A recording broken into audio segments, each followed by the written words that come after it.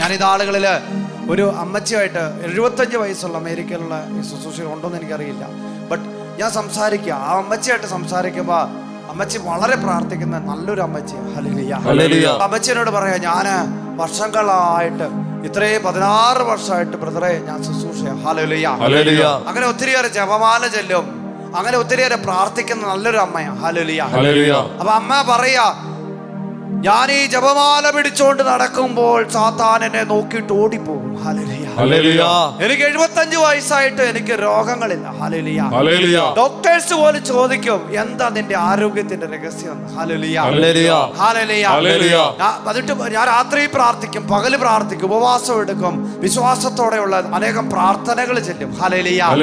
കാരണം ഇത് ദൈവാത്മാവ് നിറഞ്ഞ വ്യക്തികളുടെ ജീവിതത്തിൽ ഇതാ അവർ കടന്നു ചെല്ലുമ്പോൾ പൈശാചിക ശക്തികൾ നിറയുന്ന സ്ഥലത്തു നിന്ന് പൈശാചിക ശക്തികൾ വിട്ടുമാറും.